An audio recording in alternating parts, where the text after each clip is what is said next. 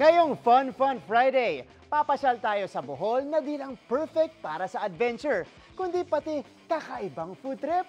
Let's change the game at samahan niyo akong itry ang kanilang exotic version ng chicharon.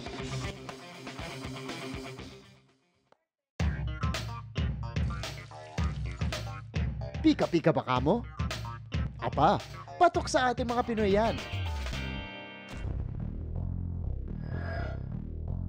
Pero nakatikim na ba kayo ng kakaibang pika-pika na unti-unting nakikilala sa Bohol? Ako, hindi pa. Kung ano yan, tara, samahan niyo akong alamin at lutuin for today's adventure. Tara, let's change the game. Malachicharon. Pero make it exotic. That's our chicha worms. Nagawa sa uod na kung tawagin ay superworms. Ito po ang tinatawag nating darkling beetle. So yung itlog nitong darkling beetle, ito yung nagiging superworm pag napisa. Huwag itong ismulin dahil nakakapangilabot man tignan. Rich in protein naman. Meet Mang Edwin, isa sa mga local breeder at supplier ng chicha worm sa Bohol. Sa ngayon ay nasa pitong tindahan na ang sinusuplayan niya ng organic delicacy na ito.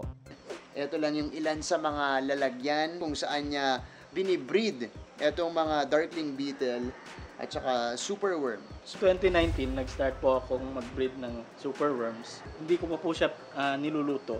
Pinapakain ko lang po siya sa mga alaga kong manok. Tinry ko siyang lutuin, tapos pinatikim ko sa mga kapatid ko, sa asawa ko po. Nasarapan naman po sila.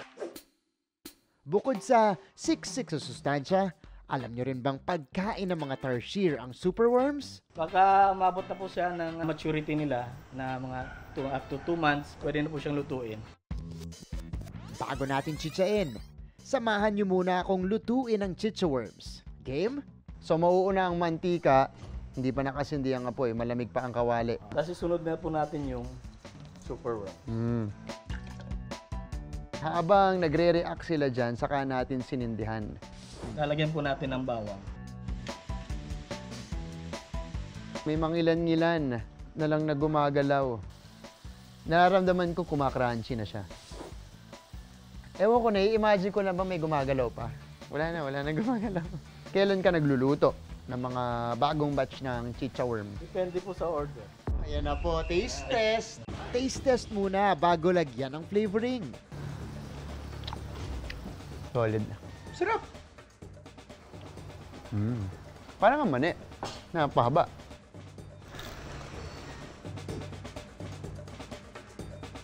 So ito po, nalagyan na natin ng flavoring. Medyo maanghang-anghang siya. Kung mahilig kayo sa spicy, baka ito yung perfect flavor para sa inyo. So nalaman na natin kung paano binibreed ang mga superworm at tinuro rin sa atin ni Kuya Edwin kung paano lutuin at gawin itong chicha worm. Pero syempre, sa simula man nakaka-intimidate ito kainin dahil sasabihin natin exotic food to. Pero nung natikman na natin, nalaman natin na napakasarap nito. Perfect na pulutan para sa mga kapuso natin. Para sa GMA Integrated News, ako si Martin Javier, changing the game! Mga kapuso, samahan nyo kaming tumutok 24 oras. Bisitahin at mag-subscribe sa GMA Integrated News sa YouTube. Sa mga kapuso abroad, bisitahin ang GMA Pinoy TV at www.gmanews.tv.